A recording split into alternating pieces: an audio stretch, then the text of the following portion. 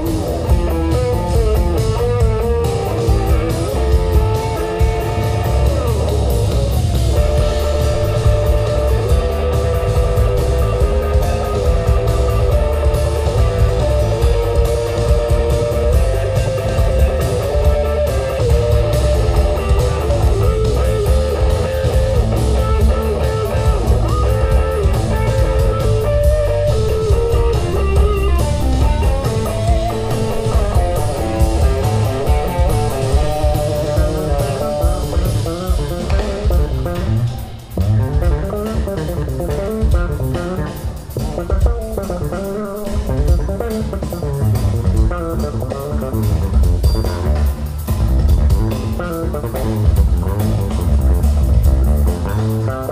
you.